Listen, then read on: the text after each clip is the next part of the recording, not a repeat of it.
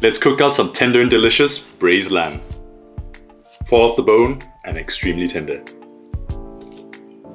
For the meat we're using lamb knuckles. Season them thoroughly with salt. Sear the lamb. Remove it from the pan. In the same pan add in celery, fennel, carrots, and onion. Cook for another 5 minutes. Then follow it up with 2 garlic cloves and 3 bay leaves. Place the lamb back, followed by 1 cup of white wine and a cup of beef stock. Cover it with foil, then into the oven at these temperatures.